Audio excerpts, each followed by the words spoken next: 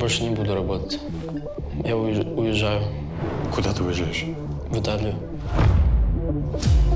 Какая Италия, малый, на, держи. Все же, я же сказал, я не могу. Хули так базаришь? Говорят, ты с детства пел в церковном хоре. Это правда?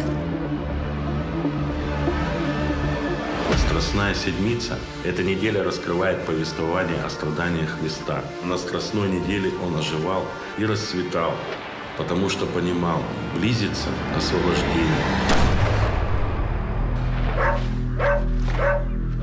Не хотите жить нормально? Цыплята, в яму. Христос, когда в пустыне был 40 дней, когда боролся с грехом, лукавый его искушал. Знаешь, я хотела тебе сказать, что ты мне нравишься. Уходи. Бороться надо с грехом, наверное, бороться. Ты что думаешь, билет купил, все в сказку попал? Дай бог ты. Уедешь. Что с тобой происходит?